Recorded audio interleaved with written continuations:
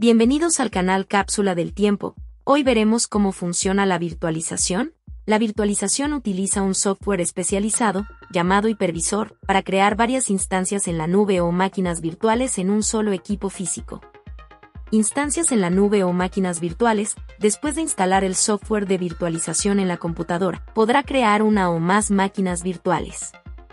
Se puede acceder a las máquinas virtuales de la misma manera que se accede a otras aplicaciones en la computadora. La computadora se llama host y la máquina virtual se llama huésped. Varios huéspedes se pueden ejecutar en el host. Cada huésped tiene su propio sistema operativo, que puede ser el mismo o diferente del sistema operativo del host.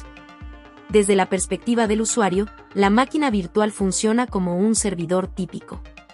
Tiene ajustes, configuraciones y aplicaciones instaladas. Los recursos de computación, como las unidades centrales de procesamiento, CPU, la memoria de acceso aleatorio, RAM, y el almacenamiento aparecen de la misma manera que en un servidor físico. También es posible configurar y actualizar los sistemas operativos huéspedes y sus aplicaciones según sea necesario sin afectar al sistema operativo host, que es un hipervisor, el hipervisor es el software de virtualización que se instala en la máquina física. Es una capa de software que actúa como intermediario entre las máquinas virtuales y el hardware subyacente o el sistema operativo del host. El hipervisor coordina el acceso al entorno físico de manera que varias máquinas virtuales tengan acceso a su propia cuota de recursos físicos. Por ejemplo, si la máquina virtual requiere recursos de computación, como potencia de procesamiento de la computadora, la solicitud se dirige primero al hipervisor. El hipervisor transmite entonces la solicitud al hardware subyacente, que realiza la tarea.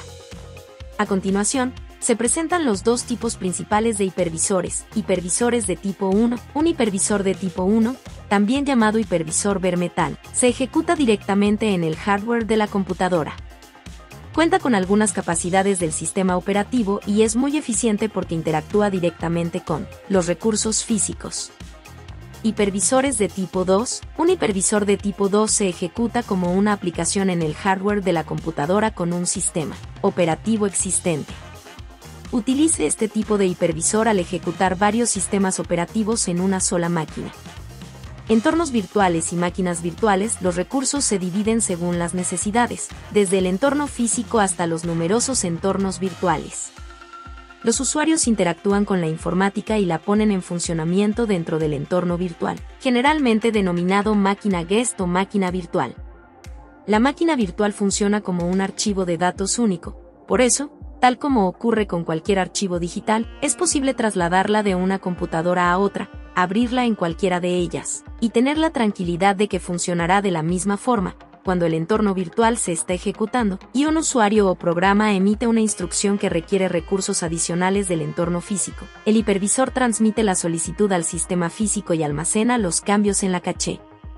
Todo esto sucede prácticamente a la misma velocidad que habría si este proceso se realizara dentro de la máquina física, en especial, si la solicitud se envía a través de un hipervisor open source diseñado a partir de la máquina virtual basada en el kernel KVM. Espero les haya gustado el video, no olviden compartir, darle like y comentar, nos vemos en el próximo video.